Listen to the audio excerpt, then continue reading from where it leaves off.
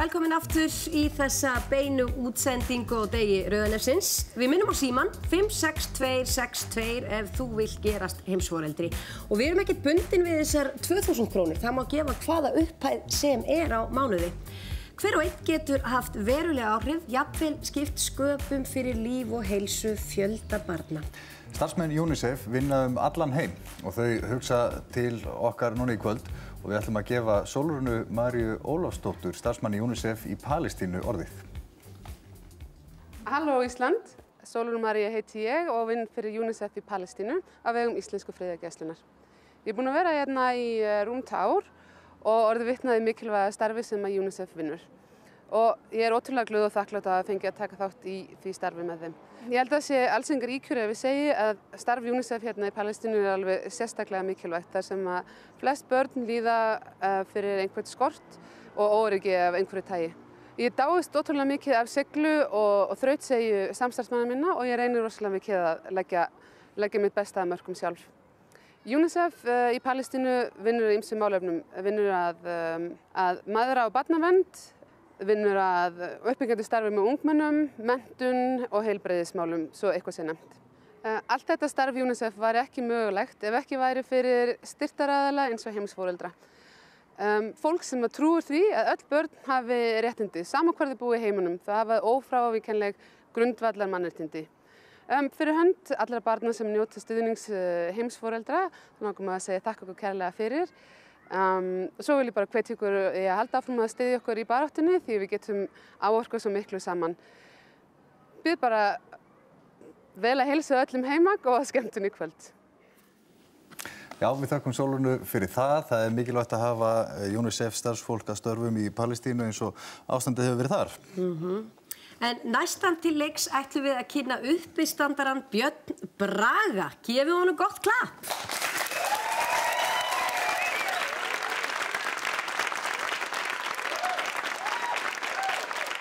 Já, takk fyrir það, góða kvöldið. Rosalega gaman að vera hérna með ykkur á þessum frábæra degi, degi Rauðanefsins. Ég heiti Björn Bræi og er fyrsti uppistandarinn í kvöld, þannig að það er svona verið að setja svolítið press á mig. Ég þarf að vera að fyndin og leggja línuna fyrir það sem að koma skal. Ég veit að ég trúði, ég gen stundum lendi í því að segja brandara sem að missefnast algjörlega. Ég hitti félaginu um daginn og hann með litla stelpu með sér. Og ég sagði, henni er þetta dóttir þín? Og hann sagði, já, hún er eins og háls. Og ég sagði, hvað káttu við? Hún er eins og háls. Hún er ekkert eins og háls, hún er bara mjög venjulegi útliti maður. Og hann horfði bara á mig, bara hvað er að þér maður? Þetta er vond grínbjörn. En mér fannst ógslag fyndið og ég sagði frá þessi fjölskyldubóði síðan einhver tíma setna. Það voru sömu viðbröð þar, bara dauða þögn á borðinu sko. Sá sem ló minnst af öllum var maður frængu minnar, af því að hann er hollendingur og skildi ekki brandarann.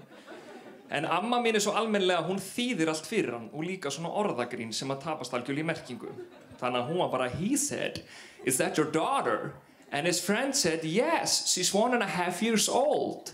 So he said, no, she does not look like a neck. Og hann horfið bara á mig bara, gott grín, flott hjá þér.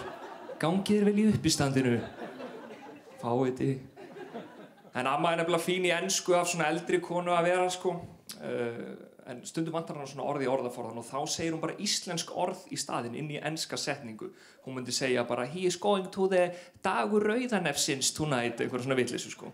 Og þetta gerði hún einu svona þegar hún voru á Flórida. Þá voru hún að leia sömarhús og vantaði eitthvað dóti í eldúsi hjá henni. Þannig að hún fór í Target vestlununa þar sem er að kaupa allt saman og búin að velja þar bolla og glös og diska og nýfa með hálfa búðina aðstóða sig þegar hún segir við afgrúðslu fólkið I only need one more thing I need a slave. Fyrir ekki, hvað segir þú? I need a slave. You know a slave to make food? A slave to do work in the kitchen? Róleg gamla kvítakona Þú ert á raungum stað hér, út með þig. En amma er indisleg kona samt sko. Hún er náttúrulega svona eldri kona þannig að hún er svona með gömlu gildin og veist, henni finnst ég til dæmis að ég hef verið löngum búin að gifta mig og hún er alltaf að setja svona pressu á mig að ég hef að fara að byggja kærustunar minnar ég sé komin á þann aldur. Við vorum í brúðkaupi og hún kom aftan að mér svona í kirkjunni þar sem ég sata á þannig að aðtöfnum byrjaði og var eitthvað svona Þú ert næstur, þú ert næstur kallinn minn að því að við vorum í brúðkaupi sko. Gæði þetta óþægilegt. Þannig að ég ákvaði að hefna mín á henni þegar fórum síðan nokkur um setna í jarðaför þá fyrir ég til hennar amma, þú ert næst. Klukkan tifar á þig. Herri, það eru frábær tónlistaratrið þetta hérna í kvöld. Ég er mikill ákvæmur um tónlist og uppáhaldstónlistin mín er svona 60s, 70s tónlist eins og ég spilað á Gullbylgjunni. Gullbylgjan er uppáhaldsútastöðið mín. En það er svolítið sérstakt með tónlist frá þessum tíma, poplög frá svona 7. og 8. áratögnum að það er svo annarkvært lag fjallið um fullorðin mann og ást hans á úlingstúlku. Þetta er alltaf eitthvað She was 16, well she was just 17 You're 16, you're beautiful and you're mine Allt svona áherslu á stelpann sé bara 16 ára sko En þessi lög eru bara krútleg með að við eitt lag sem er samt spilað á hverjum degi á gullbylgjunni þó að það innihaldi eitthvað skrítnasta texta sem ég hef heyrt og það er lagið Young Girl með Gary Puckett and the Union Gap því að textin í því er svona Young girl, get out of my mind. My love for you is way out of line. You better run, girl. You're much too young, girl. Og maður bara, hver semur svona textæla? Hver er bóðskapurinn þarna, Gary Puckett? Ég er allt og gammalt fyrir þig, það er eins gott og hlaupir í burtu stelpa. Og svo kemur slagur guttbylgjunar. Það er ekkert sem stöðvar þessa gömlu góðu. Ég heiti Björn Bræði, takk fyrir mig og ég hver allar til sem gera heimsforendrar.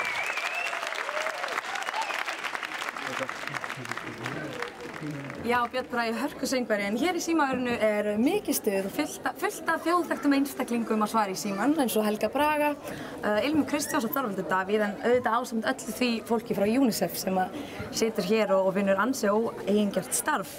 En Já, við erum reyndið, þú ert ekki með harmoníkuna en við getum kannski rifjað upp allavega símanum Já, ég man það allavega. Já, 5, 62, 62, 62 og það er bæði hægt að gefa 500 krónur, það er hægt að gefa 1000 krónur, 2000, bara það sem að fólk vil. En eins og fyrir 2000 krónur, um, við erum 22 sörkur á landinu. Við erum nú ekki margar sem heita Salka í fornafsinsætt.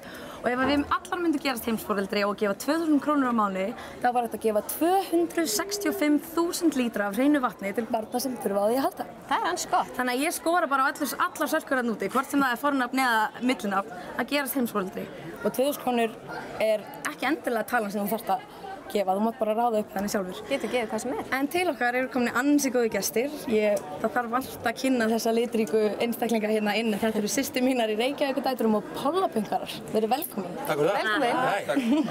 Þið standið að UNICEF-læginu í ár, sjötta UNICEF-lægi sem er búið til. Hvað, mér sýnir samstarfu hafa gengið ágætlega þegar allavega stelpunar eru kominar í ykkar föt. Við erum að morfast svona bara í sömu hljómsveitina. Þetta gekk alveg glimrandi vel. Já, alveg svo í sögu. Frábært samstarf og, og frábært lag. Já. Alveg hérna... Já, þetta er ótrúlega gott lag. já, já, og hérna gaman fyrir Pólana að taka þátt í svona verkefni sem að snýra rappi, sko. Já, þið eru að rappa í læginu. Já, við tökum aðeins undir, sko. Við, ja, við styðjum Heimili! Já, styðjum undir svona. Stuðningsrappara. Já, já. Það blundar ekkert svona rappdraumur í ykkur? Jú, jú, jú, jú, já, jú, jú. Eru það hérna búin að smita ykkur stelpunar? Já, já, já. Sko, þetta getur áhrif á næstu... Næsta plata verður kannski bara... Verður rapplata? Ég veit það ekki. Hvernig er það stelpur að hafa áhrif á svona eina vinsælstu hljómsveit landsins? Það er bara frábært. Þetta er að hafa áhrif á okkur. Við erum alltaf búin að smitast alveg hérna. Er ekki svitanlegt á gallanum með það? Nei. Það er alltaf ekki frá okkur þá. Þú veist náttúrulega allt um Reykjavík því að þú ert nú stundum í sveitinni, en þetta er ekki hljómsveit eða hvað? Þetta er bylting. Já. Þetta er, þetta er, þetta er samtök bara. Já, já. Já. Og opinn hópur bara. Opinn hópur, Það er velkomni sem vilja vera með og eru á fulla að skrifa og Það er nokkið oft karlar Vilja vera verið með. sko, þannig að þetta er heiður fyrir ykkur strákar. Já, við erum bara rosa ánægði með þennan heiður að fá að vera með ykkur í þessu lagi. Já. það er bara Reykjavík-dætur og frendur. Já, já. Við ætlum að hérna heyra þetta lag eftir, ekki alveg strax, en á eftir, þá fáum við að heyra þetta lag. En hvað, næst er það, er það ekki hann Fannavínu? Jú, Fannar er út í bæ að klukka fólk eins og brjálæðingur. Ég veit ekki hvað hann er búinn að taka upp á núna. Skulum að það. Ég er stafnirinn á biskupsstofu. En Agnes biskup er hér með skrifstofu innst inn á ganginum. Og sko fólk hefur að segja mér að hún sé ekki heimsforeldri. Þannig að mér finnst það svona í mínum daginn mér finnst það svona í mínum verkarhing að spyrja hana hvort hún sé ekki heimsforeldri. Þannig er hún sæl Agnes. Sæl, sæl Þannig sæl, sæl Þú, þú, ert þú heimsforeldri? Nei. Þetta er UNICEF, þeir eru með svona, þetta er svona að þú borgar þúsund kallar mánuði og þá fer það inn í hjálparstarf UNICEF. Já. Þú ert ekki það? Nei, Ertu til í að verða kannski, alveg reynd til í það. þú ert til í það? Já. 100.000 á mánuði frá þér? 100.000. Eða hvað, hversu mikið? Hvað, hvað viltu gefa? Það er ekki þúsukall. Já, ég segi, það, það er að minnsta sem þú getur gefið, en þú veist, við erum að reyna að hámarka þá uppæð. Já, já, já, já. Er ekki annars biskup Íslands er á mjög háum, háum launum, ekki? Já, já. einmitt, að, en hvað, hvað, hvað? Alveg mjög há, sko. Já, Hæstu já. sem hinnast í. Ég er þetta ekki með eðiblöðin á mér eins og einstakar, er einhver eitthvað með eðiblöðin, svo við bara gengið frá þessu hérna í beinni. Takkar hér, hérna. Afsakar sýla gangið inn, þannig að við skulum bara fylla út þetta form hérna og höfum þetta bara svona ofisjált. Pennastrákar, einhver? Já, það er nú fullt af penni minni, sko. Já, ég vil helst nota minn einn penna. Nei, það er ekkert annað. Þá bara veluður uppæð, setur við bara hérna í annað, 100.000. Já, já, ég set alltaf þrjú, það er heilu tala, sko. Já, ok, 3000. Og svo bara fyllir út nafn og kennutölu og svona og við bara göngum frá þessu. Þá er biskupinn okkar orðin heims foreldri sem við sjáum. Já, og svo þarf ég að klukka þig, það er vist... Klukk! Já, þá er ég komin í... Nei, en þá er ég komin í Jóvel og ég ætla að uh, hitta á hann Jóa og uh, aðtöða hvort að hann sé ekki í alveg potið heims foreldri eða ég þekki eins og Jóa rétt. Ég líti bara kringan okkur en þetta er fók, fók, fók dýr brauð fyrir til sölu. Þá hlýtur hann að vera heimsforeldri ef ekki í þúsundatali. Þetta er aðeins starfsfólk. Skipt rengu, ég og Jóa erum like this. Þannig að einhvers staðar er, er maðurinn.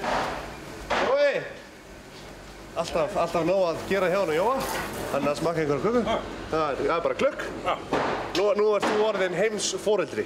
Já, hvað fyrir það? Ertu kannski orðin heimsforeldri eða hvernig er það? Ég er heimsforeldri, já. Þú ert heimsforeldri? Já. Og þú ert að smaka hérna köku? Hvað ég að smaka hérna eða? Það er bara hérna hendan. Það er bara hendan, já, þetta er. Ekki hvað? Mm. Og ættir að senda þetta út til Afríku og það er það. Já, meina. Gefa að þér meira en bara einhvern þúsungall á mánuði. Svo getur þú gefið meira, þú getur gefið 10.000, 20.000, 30.000. Ég er að gefa rosalega mikið og ég er stoltur af því. Já, af þér. Já, já, já. Jói gefur alltaf af sér, það er alveg bara aðeins klart á. Áfram. Áfram með kökuna. Það er bara flott að vita því. Ok, það er gott bara. Jó, við erum að fara fullt öðrum stöðum þannig að við bara, við sjáum sjóum minn. Heldur áfram að vinna. Heldur áfram að vinna. Og þú ert orðin heimsfjöldri.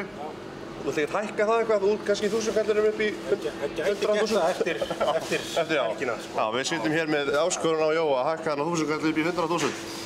Þá fer ég bara á kannað. Bless. Sæl. Sæl. Ert þú, heimsfórildri? Svona að gefa pening? Já, já. Ég sendi hérna breftur. Ok, er, þessu. en ertu til í að, varir til í að skrifa undir plagg, strákar, erum við plagg, Gunnar, plagg, plagg þess að heiti þess að þú sett orðin þá heimsfórildri. Getur þið gert það fyrir mig? Helst núna, af því við erum að drifja okkur. Það er bara að skrifa fullt nafn og, uh, já, þetta er ágætt líka. Og hva, hvað ætlar að, hva, hversu mikið pening ætlar að gefa í þetta? Hús. Hæ? Hæ? Hversu mikið pening ætlar að gefa í þetta? Uh, kannski bara svona 70 gullpenninga. Já, ok. Ok. Á mánuði þá. Yes. Og það væri þá kannski þúsund krónur. Já. Já, já, flott. Þú heldur þá þessu hérna, Já. þú heldur þessu, Lína mín, Yes. Og ég held þessu. Og bara, bara nice doing business with you, bara, bara gangið þið vel. Ekki? Já, frábært, Lína og Lína alltaf þess. Það er nefnilega þannig að það verður að spritta sig líka. Þetta er búin að spritta það, Ilmur. Þú ert bara að varalita þig, hendi í smá spritt. Þetta eru skítu líklega búið, það ekki? Þetta er gott. Það er gott að vera hreinn, algjörlega. En kæra áhörður, ég fyrir alveg að draga núna í eh, SMS-leiknum okkar og ég hveti ykkur áfram til að senda SMS í númeri 1900 NEF eru stafirnir og á eftir ætlum ég að gefa síðan heilsupakka. Og ég ætla að segja ykkur aðeins í heilsupakkanum, svona örsnögt, það er djúspóki frá Gló Áskort í Vörklass, e, snjósleðaferð og syndamann í útvistafatnaður. En núna ætla ég að draga úr menningarpakkanum og hann er heldur betur flottur því að það er borgarleikusi sem gefur tvö gjafakort á fjórar leiksningar einn vali. E, Endurmentun gefur gjafabrif á námskeið, e, gjafabrif svo á grillmarkaðin og fiskimarkaðin frá henni Hrefnurósu og svo er það Vá er sem gefur líka tvo miða. Gjafabrif fyrir tvo, já, það er þannig. Til London, Köpen, París eða eitthvað, Berlín, þess vegna, ég veit það ekki, það er alls konar. En e, nú er ég að spá ég að draga, eru þið tilbúin og ég ætti að vonast til að fá eitthvað hérna. Já, það er svona háfur, það er svona grín, það er gaman aðeins líka. Og hér er mér nafnið á þeim sem hlýtur hennar menningarpakka. það er hægt að skella sér út að borða, fara svo í leikhús og svo á, í endurmentun ef þið farið í leikhús á sunnudegi. Þannig að, vá, hér er nafnið. Það er engin önnur en Edda Ír Georgsdóttir sem hlýtur þennan glæsilega menningarpakka til hamingi með þetta. Edda, eh, svo ætla ég að minna á hashtagið eh, Raut Nef á Twitter og Facebook og öllu. En ég ætla að setja gott í bíl, ég dref svo út úr eh, heilsupakkanum á eftir.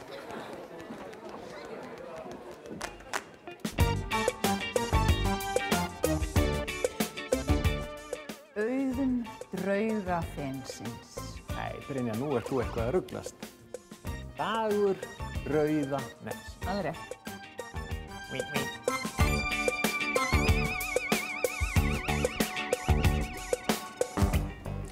Já, hann er sestur hérna hjá okkur tónlistamæðurinn Páll Óskar, verður hjertalega velkominn. Takk hjálpa.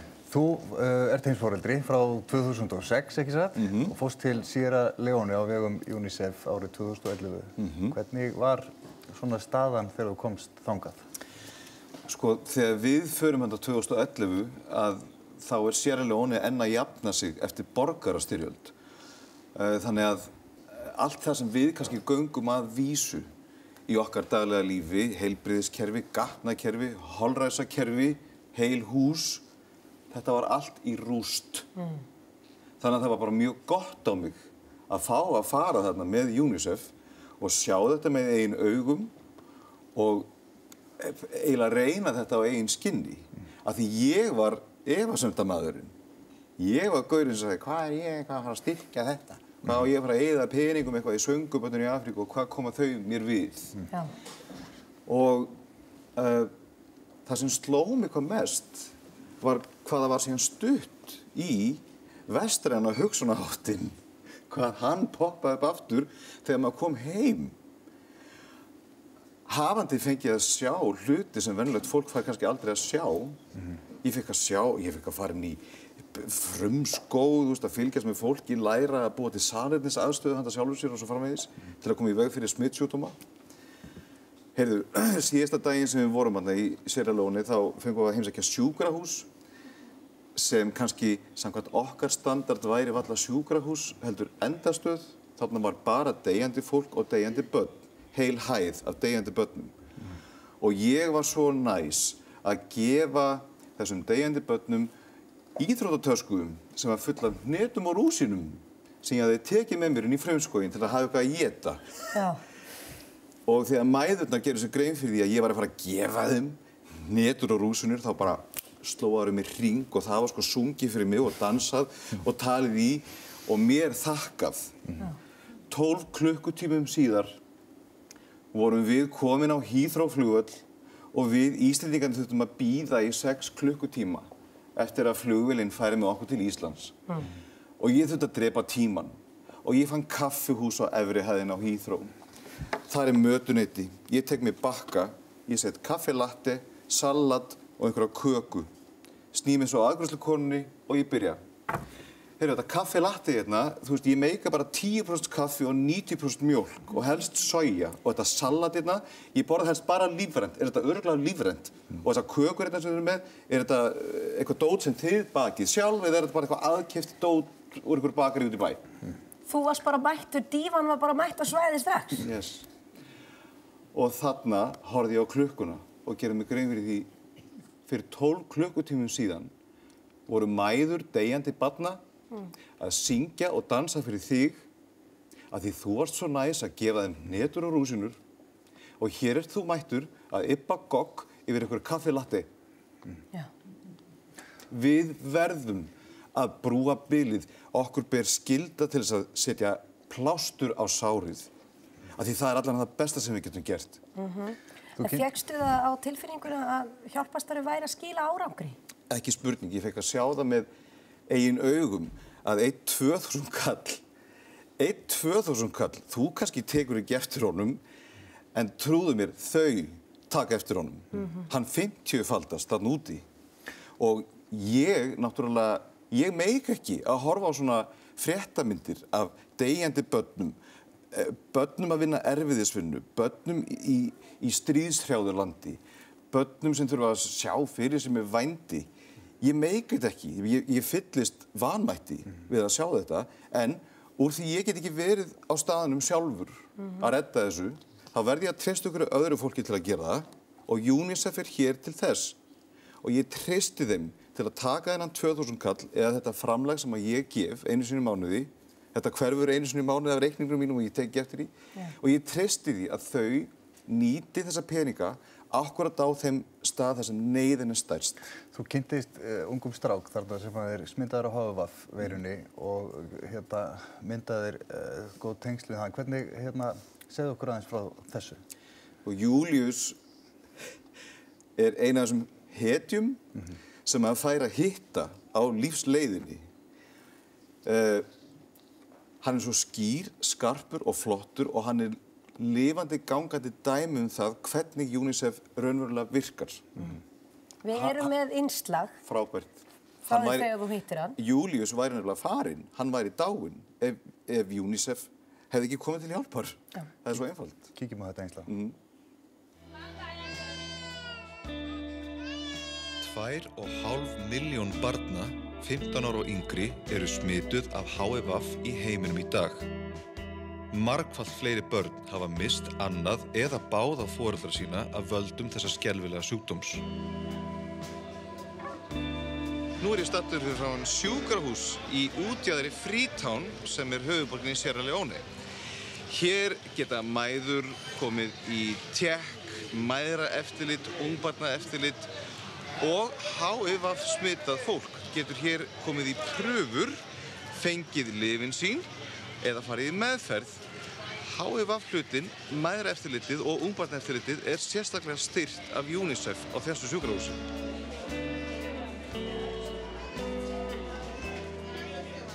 Inni á sjúkrahúsinu hitt ég mikið af fólki sem ég mun aldrei gleyma. Meðal annars ófrískar mæður sem eru smitaðar af HIV en fá lif bæði við sjúkdónum og til að koma í veg fyrir að barnið þeirra smitist líka. Á einum ganginum hitt ég Július. Hann er 13 ára gamall og smitaðist af HIV líklega við blóðgjöf í kjölfar sýkingar sem hann fekk þegar hann var 5 ára. Július hefur þegið lyfjameðferð í eitt ár og líður miklu betur núna. Hann er ótrúlega sjarmerandi strákur og vildi endilega kenna mér uppáhalds lægið sitt. Oh, because he do me sense. His love and strength, oh, he's so dead. He will make a way for me. He will make a way. People come back and tell you, yeah? Mirror How often do you have to come? Once a month for my treatment. Yeah. By the end of the month, I come, they give me, and the other month I'll come when that one is finished. Þökk sé UNICEF á Július möguleika á framtíð í dag. En hann glýmir þó enn við óttan af fordæmingu og útskúfun vegna sjúkdómsins. How about other people around you? Do they know that you are HIV positive? No, No. You don't tell your best friends? Don't tell nobody. It's only me, my mother, and my grandmother because she was the one who was taking care of me. That is why we told her. Um allan heim útvegar UNICEF börnum eins og Júliusi nöðsynleg liv til að halda HIV-vírusnum í skefjum. Slík meðferð getur gert þeim kleift að lifa nánast eðlilegu lífi. How do you think that people with HIV in Sierra Leone, how do you think those people can be helped better? They don't have good place to sleep. Country, they sleep bad, and in the morning they don't have food to eat, and they, some of them they have become wayward because of that. They go out steal, they don't have money, and they say they will, they will die. They need encouragement. Some of the children, they really need encouragement because it's like if you don't have hope, you will not survive.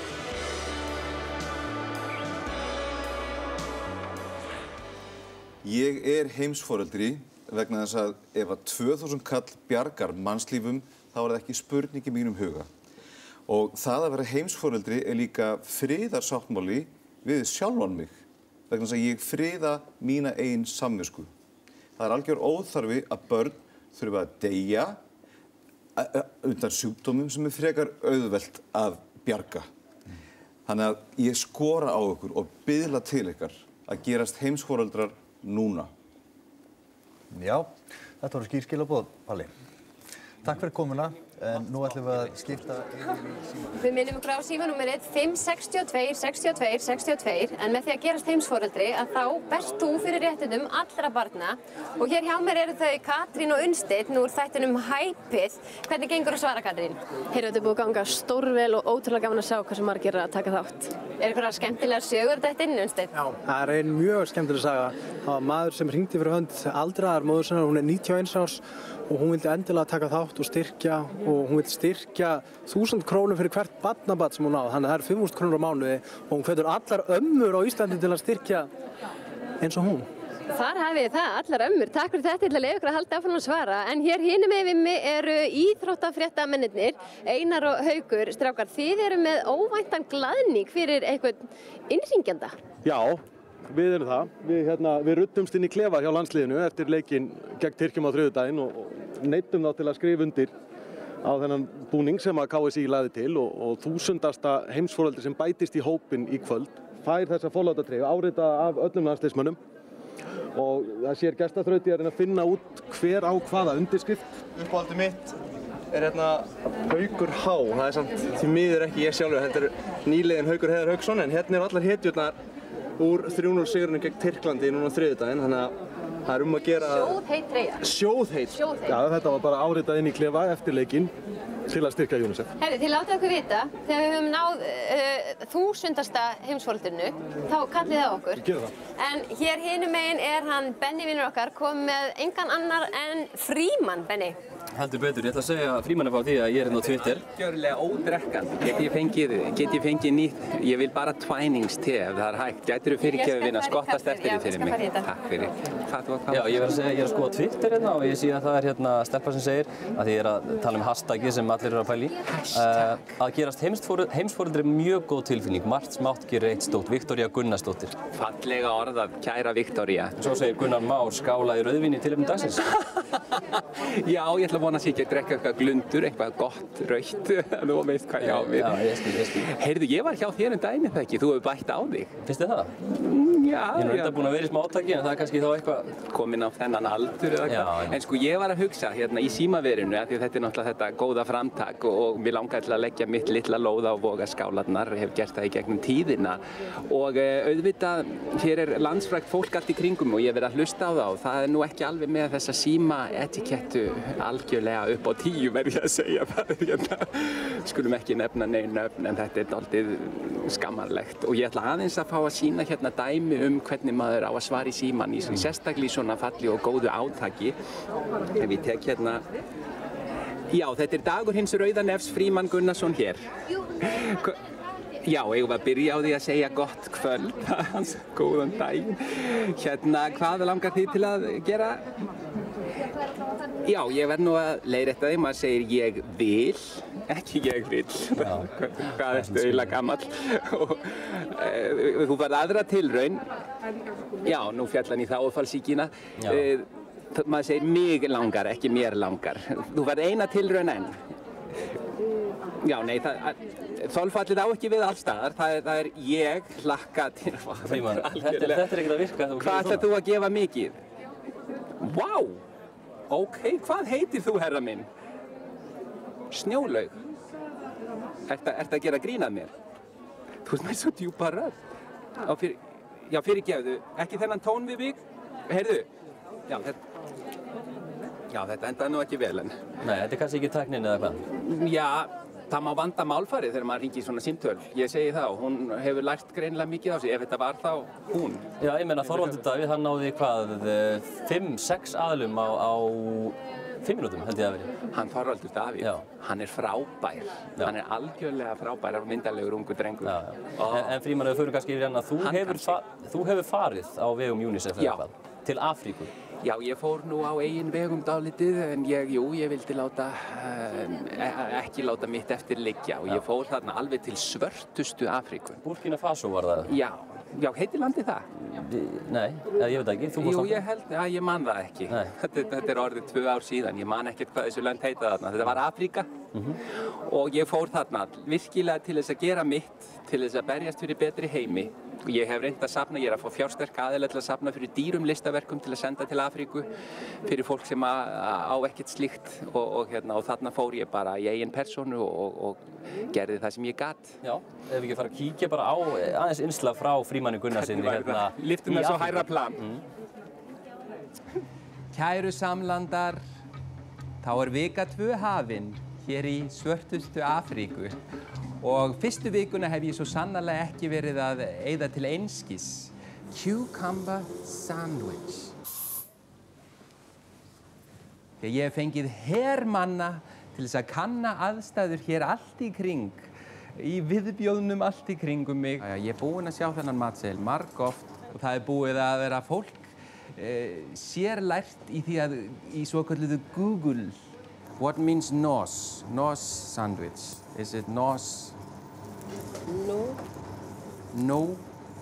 no sandwich. It's your sandwich. Af hverju ætti ég að vilja þína samloku? Ég ætla mér að finna hvar neyðin er mest, þar nýtast kraftar mínir mest, þar sem að eru algjörir aumingjar sem lifa bara í svaðinu og geta sér ekki bjargað sjálf. Oh no, ok, I, I will, uh, thank you. Ég er að verða að engu hérna. Þú getur líka breytt til hins betra, kæri Íslendingur. Já, eh, hér, hér. Já, Fríman Gunnarsson, en ég vil minna ykkur á millumerkið sem flestir þekkja nú sem hashtag og hvet alla eindregi til að senda inn myndir af sér með svona fínt raukt nef. Uh, hashtagið er sem sagt raukt nef, en ef þú átt ekki svona raukt nef þá er um að gera að nota ímyndanarflið, skella smá naglalakki á nefban eða bara svona á nöglina og skella því á nöfban, kissuberja tómat halda honum fyrir eða bara klína smá varlit á nefið. En hér á eftir það er nóg eftir og við ætlum að fá góa og á góða gesti úr Latabæ en fyrst ætlum við að fá auðlýsingar.